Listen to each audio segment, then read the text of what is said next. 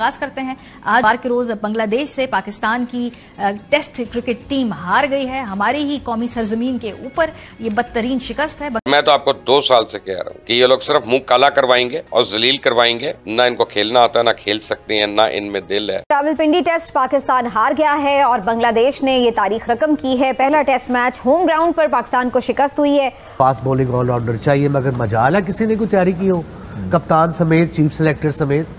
दूसरे fast bowling की जो रेपुटेशन के ऊपर आप इनको खिलाए जाते हैं, वो एक तरह से खत्म हो गई है वो रेपुटेशन और ये एशिया कप से एक तरह से डिबैकल शुरू हुआ है, एक कॉन्फिडेंस क्राइसिस जो इस बॉलिंग लाइनअप में खास तौर पे फास्ट बॉलिंग लाइनअप में आया है, वो वहाँ से शुरू हुआ है, जो भारत के अगेंस्ट मैच था। सीमिंग कंडीशंस में धुलाई हुई हमारे फास्ट बॉलर्स की। और फिर सारी दुनिया ने ये ताड़ लिया कि इन पे अगर हमला किया जाए तो ये जो बॉलिंग अटैक है, ये उस पाए का नहीं है जितनी की इसकी रेपुटेशन है। खुर्रम ये क्या हो गया? कहा जा रहा था चार फास्ट बॉलर और पिच ऐसी तेज होगी और धड़ाधड़ विकटे गिरेंगी और ये होगा वो होगा। आज तो हम देखते रहे बंगाली बैट्समैनों के आगे हम बिल्कुल बेबस नज़र आ रहे थे हमारे बॉलर अबे कौन है ये साधवान इस्लाम? What the hell is going on in Pakistan cricket? साधवान इस्लाम डेढ़ सौ बोले दो सौ बोले खेल रहा है मेरे वर्ल्ड क्लास बॉलर्स की। नाजरीन हम लोगों ने क्रिकेट को दिल के करीब रखा। हमेशा इसको एक ताजीम वाले खेल के तौर पर देखा देखा। लेकिन आजकल क्रिकेट हम लोगों को मायूस पे मायूस किए जा रहे हैं। नाकामी पे नाकामी देख रहे हैं। हेलो दोस्तों स्वागत आप सभी का ए पी चैनल पे। तो फ्रेंड्स आइए देखते हैं पाकिस्तानी मीडिया की लेटेस्ट वीडियो तो दोस्तों इस समय पाकिस्तानी मीडिया में एक तरह से कह सकते हैं हाहाकार मचा हुआ है और उसकी वजह है कि बांग्लादेश क्रिकेट टीम ने पाकिस्तान को पाकिस्तान के ही अंदर पहली दफ़ा क्रिकेट इतिहास में पाकिस्तान को 10 विकेटों से करारी मात दी है, जिसे सारा पाकिस्तान शौक तो है ही है, लेकिन पाकिस्तान के इस जले पे नमक छिड़कने का काम किया है। पाकिस्तानी पूर्व क्रिकेटर कमेंटर रमीज राजा के बयान ने, जिससे यह तासुर मिल रहा है कि पाकिस्तान की इस शर्मनाक हार के अंदर इंडिया का बहुत बड़ा रोल है। आप भी सोच रहे होंगे कि आखिर ये कैसे पॉसिबल है?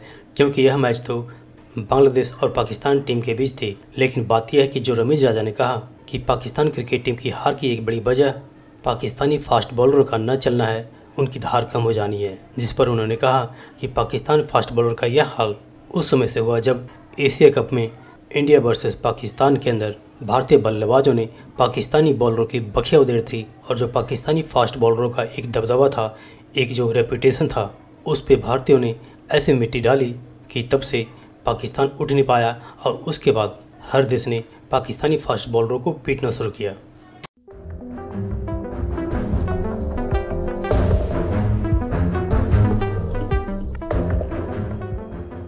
आगाज़ करते हैं। आज बार के रोज बांग्लादेश से पाकिस्तान की टेस्ट क्रिकेट टीम हार गई है। हमारी ही कौमी सरजमीन के ऊपर ये बदतरीन शिकस्त है। ये हारने के बाद शायद साहब, हमेशा हमने देखा कि पिच की शामत आ जाती है। कोई भी अगर होम सीरीज़ हारते तो हम कहते हैं कि पिच के मसाइल थे। तो पिच तो हमने खुद नहीं क्यूरेट करनी होती। क्या हम देखकर पिच तैयार नहीं करते या पिच देखकर फिर टीम सेलेक्ट नहीं करते? पिछले तीन चार साल से ये पिचेस का मसला हो रहा है और इसीलिए पाकिस्तान क्रिकेट बोर्ड ने ऑस्ट्रेलिया से एक दरामद किया क्यूरेटर उससे भी नहीं समझी ये पिच और बहुत से नतीजे मैच से पहले ही अक्स कर लिए थे पाकिस्तान क्रिकेट टीम के कप्तान कोचेस। उन्होंने ये सोचा था तीन दिन में हम बांग्लादेश को उड़ा देंगे तेज तरीन पिच है बॉलर हम्म। चार खिलाते हैं उस पर हम आउट कर लेंगे। बांग्लादेश को जल्दी पाकिस्तान ने आसान हरीफ समझा बांग्लादेश को। बांग्लादेश ने उनको हैरान किया अच्छी क्रिकेट खेली हमने कोई स्पिनर भी नहीं खिलाया। सारे नतीजे हमने पहले से रख लिए थे कि मौसम खराब होगा बारिश होगी इसलिए हम चार पाँच बॉलर खिला लेते हैं स्पिनर का कोई काम नहीं है और उस, उन तमाम तर गलतियों के बाद नतीजा यही आना था जब आप पहले से अज्यूम कर लेते हैं सारी चीज़। हम्म, कामरान ये जो पिच रीड करनी होती है ये पिच रीड करना और फिर टीम को बनाना खिलाना ये, ये सब कुछ मजबूरी तौर पे ये किसकी ज़िम्मेदारी है? Pakistan cricket team cricket fans को मायूस करने का कोई मौका हाथ से जाने नहीं देती, बल्कि दूसरी और स्ट्रेचर में छोटी टीम को भरपूर मौका देती है कि सारे रिकॉर्ड्स हमारे खिलाफ मैच में ही बना लो। पाकिस्तान बांग्लादेश के दरमियान पहला टेस्ट मैच होता है। पाकिस्तान को बदतरीन शिकस्त हो जाती है। बांग्लादेश ने तारीखी फतह हासिल की। तीस रन का टारगेट था बांग्लादेश के पास। आराम से सुकून से हँसते खेलते उन्होंने पूरा किया। हैरत की बात यह है कि हम अपने ही होम ग्राउंड की पिच रीड नहीं कर सके। स्पिन विकेट पर चार फास्ट बॉलर्स खिला रहे थे। नजमुल साकिब साहब हम भी रिकॉर्ड्स कायम कर रहे हैं। कुछ छोटी टीमों से हारने के जिम्बाब्वे से हारते हैं। 2022 के टी वर्ल्ड कप में अमेरिका से हारते हैं। 2024 के टी वर्ल्ड कप में अफ़गानिस्तान से हम हारते हैं। 2023 के वर्ल्ड कप में और आयरलैंड से हम हारते हैं टी सीरीज़ ये सारा कुछ तो हारते हैं। जी। लेकिन किसी माई के लाल की टीम ने आज तक पाकिस्तान आके चाहे वो इंग्लैंड है ऑस्ट्रेलिया है किसी माई के लाल ने यहाँ आके हमारी होम ग्राउंड पे 10 विकेटों से शिकस्त नहीं दी ये पहली दफ़ा और ये बांग्लादेश की जब से उन्होंने शुरू किया इकहत्तर के बाद ही शुरू किया ना जी जी। ये पहली दफ़ा है कि वो पाकिस्तान से एक टेस्ट मैच जीते बिल्कुल बिल्कुल। हैरान हूँ दिल को रोऊं कि पीटूं जिगर को मैं। अच्छा तीन क्रिकेटर हैं जो बड़े खुश हैं इस हार से। कौन? इमामुल हक बहुत खुश है। उसको नहीं रखा ना आपने। अहमद शहजाद बहुत खुश है और उमर अकमल बहुत खुश है। देखिए अब्दुल्ला शफीक सऊद शकील और नसीम शाह की विकेट एक ऐसे सैंतीस साल ऑलराउंडर ने ली है जिसके खिलाफ इस वक्त एक कत्ल का मुकदमा दर्ज हो चुका है। एक और सैंतीस साल खिलाड़ी मैन ऑफ़ द मैच जो बना इस मैच में उसने चंद रोज पहले अपने मुल्क में एक खूनी खेल देखा है। मुझे तो यूँ लग रहा था पाकिस्तान की टीम जो है वो किसी वो किसी मोहल्ले की टीम के साथ खेल रही है। अच्छा सही कहते हैं मैंने जिस तरह कहा ना अच्छा वजूहत जल्दी से बता दूँ वो सबको पता है मेरे नज़दीक पहली बात धड़ेबंदी है आपकी टीमों में और वो साफ़ नज़र आ रहा था। अच्छा। आपकी टीम में धड़ेबंदियाँ हैं। खराब प्लानिंग थी खराब सिलेक्शन थी। नंबर तीन बोर्ड के फ्रीक्वेंटेड ये जो फ्रीक्वेंट चेंजेस हैं हाँ। इनका खास तौर पे नज़र आ रहा था हिसाब किताब।